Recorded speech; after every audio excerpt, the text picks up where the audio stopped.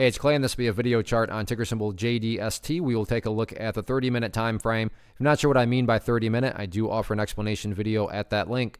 Did this analysis on Wednesday, so that is where the green line annotations are coming from. And that's also where this initial big question mark comes into play. And the question mark has to do with the fact that, technically speaking, yeah, the price did break down below that level of support that I talked about yesterday.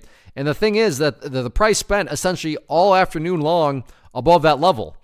You can see the price was doing a fantastic job of consolidating. And then, like I said, the last couple of candles showed up and enough to push the price down below that level. Now, the thing with support levels and resistances is they're not exact specific prices. There is a range element associated with it. So I'm still going to consider this an area of support, but you got to admit the fact that, well, technically speaking, the price is actually below this area. So it's at the bottom portion of the quote unquote kind of range we'll talk about with these levels of support. So the big question here becomes is this the start of a bigger breakdown? Is the price going to you know, garner that much more downwards momentum and potentially take it down to that area of support which I've talked about in past videos, which is very important down here around the $1.23 mark. I'm not saying for sure that'll happen. My point is is that it's at least a rational thought to have right now that something like that could be in store where the price has now begun to pick up that much more downwards momentum. Now, the, the best case scenario is just to have the price all of a sudden go sideways and then snap back up. And there we go. All these talking points that I've just gone through was a waste of breath because no, there was no downwards momentum,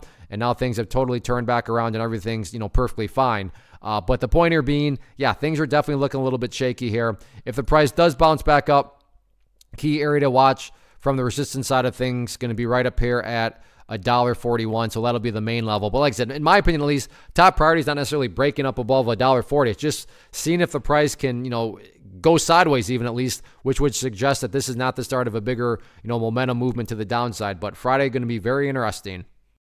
First off, thanks so much for watching the entire video. Real quick, before you go, I want to invite you to a live webinar, web class, training, workshop, online event whatever you want to call it, but it will be me live revealing to you what I've discovered that has allowed me to transform myself from being an employee to being my own boss, including how I had only one losing day out of 73 days in total.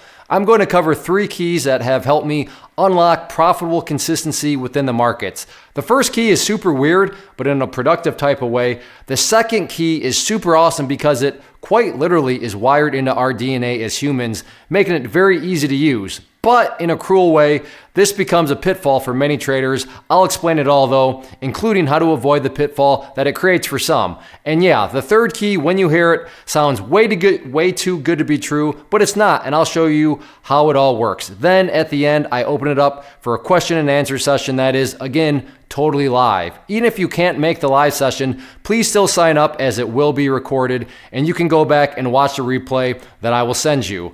Click the image on the screen or click the link down in the description box so you can get the date and time and claim your spot, which I should note is limited due to the fact that this truly is a live event.